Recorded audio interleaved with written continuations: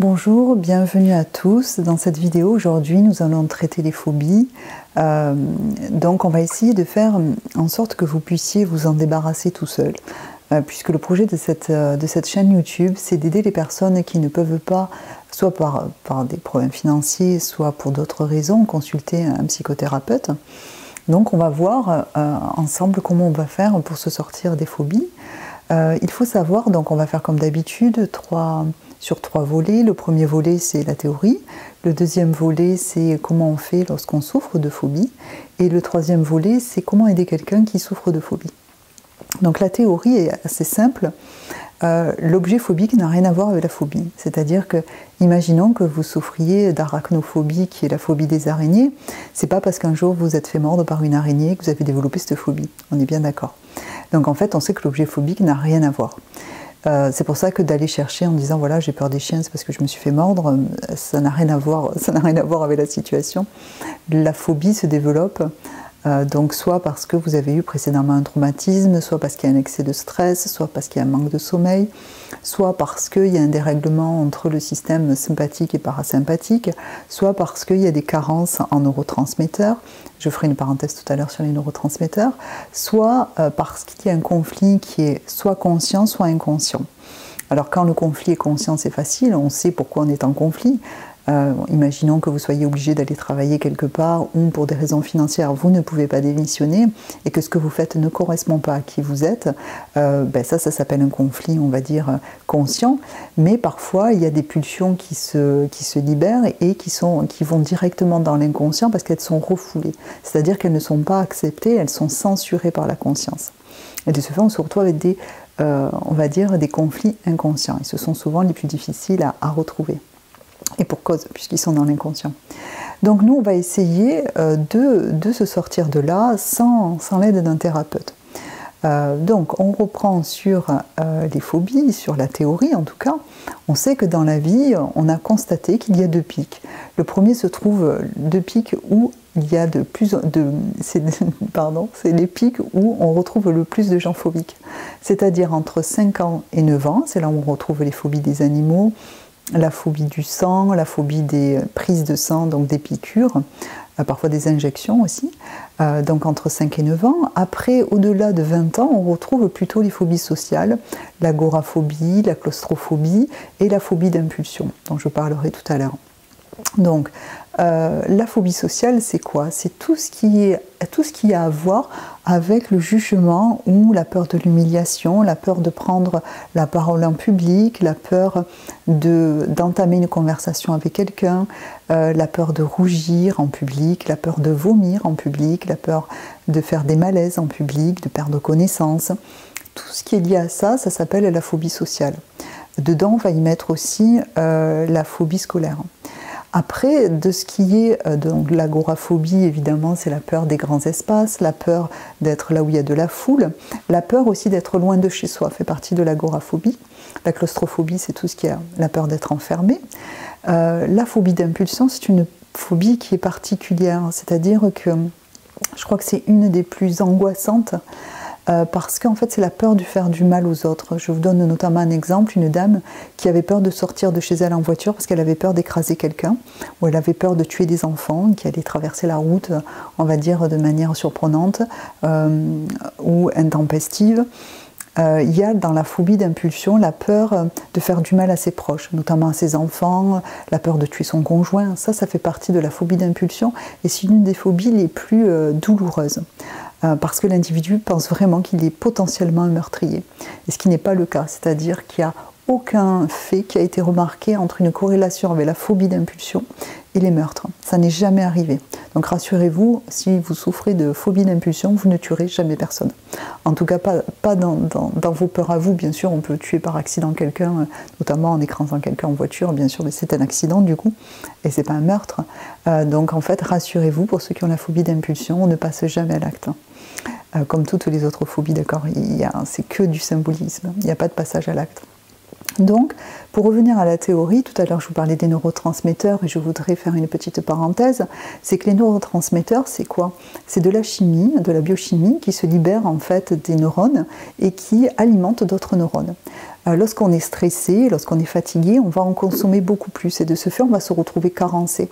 Et c'est pour ça qu'il est intéressant de faire le test des neurotransmetteurs qui est gratuit sur Internet, le test donc des neurotransmetteurs du docteur Braverman.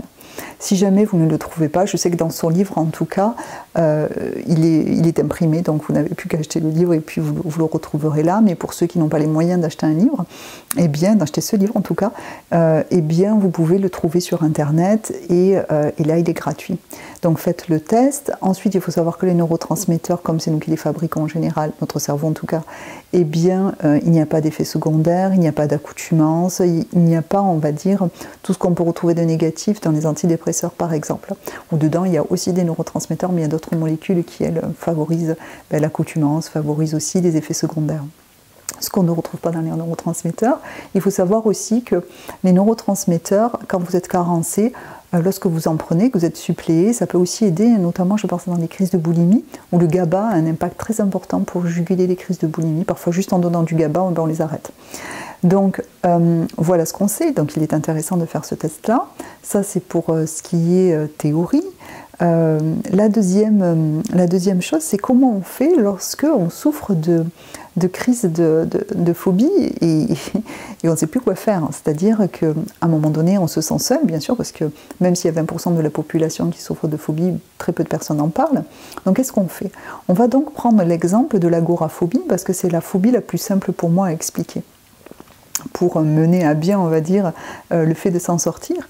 Donc, on rappelle l'agoraphobie, on va prendre une personne qui ne peut plus sortir de chez elle. Au départ, ce qu'on va mettre en place, c'est d'abord, et c'est valable pour toutes les phobies, c'est pour ça que j'ai pris l'agoraphobie, c'est que ce que je vais vous dire, vous pouvez le mettre en place pour toutes les phobies dont vous souffrez. Donc la première chose à faire, ça va être de, faire énormément de cohérence cardiaque, de méditation, de sophrologie, de relaxation, puisqu'en fait ce qu'il faut, c'est qu'on arrive à rétablir l'équilibre entre euh, le système sympathique et parasympathique. Dès qu'on est arrivé à ça, on peut passer à l'étape 2, euh, qui est, donc ce que je voulais aussi préciser, c'est que si vous faites une fois par semaine de la cohérence cardiaque ou de la méditation ou... Euh, ou tout ce qui est relaxation, ça ne fonctionnera pas. Il faut le faire plusieurs fois par jour jusqu'à ce que le taux de stress descende de manière significative. Une fois qu'on a réussi à faire descendre le niveau de stress de manière significative, ce qu'on va mettre en place, c'est on va s'imaginer en présence de sa phobie. C'est-à-dire qu'on va imaginer, on prend le cas de l'agoraphobie, sortir de la maison. Et on va l'imaginer plusieurs fois par jour jusqu'à ce qu'en fait, vous ne soyez plus angoissé quand vous l'imaginez. Une fois qu'on est arrivé à ça, on va commencer à sortir de chez soi. On ne va pas faire 10 km, on va d'abord faire 1 mètre. Et on va le faire plusieurs fois par jour. Jusqu'à ce que votre cerveau n'enregistre plus d'angoisse en le faisant. Et tous les jours, on va augmenter. Ce qu'il faut, c'est pas augmenter trop vite. C'est-à-dire qu'il faut d'abord qu'on stabilise ce qui a été acquis. On va, par exemple, imaginer que vous sortiez, que vous fassiez un mètre, on va le faire jusqu'à ce que vous n'ayez plus du tout peur et que vous ne ressentez plus rien. À partir de là, on va pouvoir passer à 2-3 mètres, etc., etc. Jusqu'à ce qu'on puisse sortir, prendre la voiture, on va refaire le même processus et à un moment donné, vous allez voir que tout va lâcher que vous allez pouvoir retrouver votre liberté par rapport à votre phobie. On va prendre maintenant, donc ce processus, on va, on va le faire pour toutes les phobies parce que ça marche. C'est-à-dire, première, chose, on fait beaucoup de méditation, cohérence cardiaque, relaxation. Deuxième étape, on va s'imaginer en présence de sa phobie. Troisième étape, on va euh, se confronter à sa phobie petit à petit, bien consolider les acquis et ensuite on passe à l'étape suivante. Et c'est comme ça qu'on va se sortir de la phobie. Ensuite, on va, passer au, volet 3 qui est comment aider une personne qui souffre de phobie. Et on reprend l'agoraphobie parce que c'est plus simple. Eh bien, vous allez. Souvent, les agoraphobes peuvent, sortir pendant avec quelqu'un. Ils ne peuvent pas sortir tout seuls, mais avec quelqu'un, ils sont plutôt rassurés. Et de ce fait, ils peuvent le faire.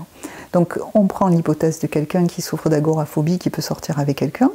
On va donc l'amener dans un endroit qui est pour lui anxiogène. Alors au départ, on va pas prendre ce qui est le plus anxiogène, on va prendre ce qui est le moins anxiogène.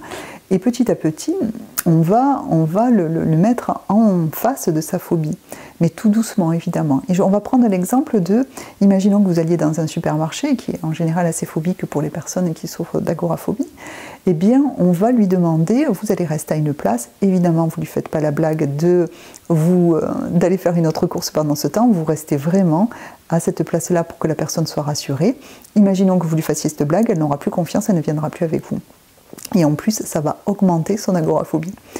Donc on ne fait pas cette blague-là, on reste en place et on attend qu'elle s'éloigne. On va lui demander au départ de faire un à 2 mètres et après, petit à petit, de se reculer au fur et à mesure. Et à un moment donné, elle va se retrouver dans un espace où elle ne vous voit plus visuellement. De ce fait, vous, vous restez bien en place. Par contre, vous ne bougez pas, vous attendez que la personne revienne et petit à petit, elle va pouvoir s'adapter à ne plus vous voir et être quand même en sécurité avec elle-même. Puisqu'en fait, le projet de la phobie, c'est de se retrouver en sécurité avec soi. Parce que c'est une illusion de croire que la sécurité vient de l'extérieur. La sécurité vient toujours de l'intérieur de soi-même. Et on a, du coup, c'est pour ça qu'on a besoin que de soi pour être en sécurité, par rapport à la phobie, je parle bien entendu. Par rapport au reste d'ailleurs, en fait aussi. Euh, voilà comment donc on, on, procède si jamais la personne fait à ce moment-là une crise de phobie, c'est-à-dire l'attaque panique va se mettre en place, elle va être très angoissée. Ce qu'on va lui demander, c'est déjà vous allez lui parler très calmement, très lentement en fait, pour que son système nerveux s'apaise. C'est-à-dire que comme elle va voir chez vous qu'il n'y a pas d'inquiétude, elle-même elle va s'apaiser et elle va retrouver, on va dire, son calme. Euh, donc il faut lui parler doucement, gentiment, s'asseoir, lui montrer en fait qu'il ne se passe rien. Elle, elle va être en panique, elle va vouloir fuir et lui dire voilà, regarde, il ne se passe absolument rien, on va rester quelques minutes juste pour que euh, sa phobie et sa panique ne soient pas, on va dire, un échec. On va rester quelques minutes et après on s'en ira. Et le fait qu'elle arrive à appréhender ces quelques minutes, à être posée comme ça, ça va lui permettre, elle, de traverser son angoisse et sa panique. Et c'est le fait de la traverser qui va la guérir. Et c'est comme ça qu'on va sortir de la phobie et qu'on aide quelqu'un à sortir de la phobie. Voilà, j'espère que cette vidéo aura aidé le plus grand nombre. Si vous, avez, euh, si vous ne savez pas comment nommer votre phobie, n'hésitez pas. Vous me marquez l'objet phobique dans, euh, on va dire, en dessous de la vidéo et je répondrai avec plaisir comment se nomme votre phobie. Ensuite, si vous avez des questions comme d'habitude, n'hésitez pas. Bien sûr, je le répète, pas sur, parce qu'en fait, les personnes me laissent des messages sous la, page, Facebook. Mais en fait, c'est plus utile de le laisser sous la vidéo sur YouTube, puisqu'il y a plus de personnes qui, pourront bénéficier en tout cas des réponses et des questions que vous posez. Euh, donc voilà pour ceci. Ensuite, la prochaine vidéo portera sur euh, quelles choses à mettre en place avant d'envisager une rupture? C'est-à-dire que parfois on rencontre des crises dans le couple et c'est de savoir qu'est-ce qu'on peut mettre en place pour savoir si on va dans le même sens encore ou si on envisage une rupture à ce moment-là ou si on envisage de consolider le couple. Voilà, je vous dis à bientôt. Au revoir.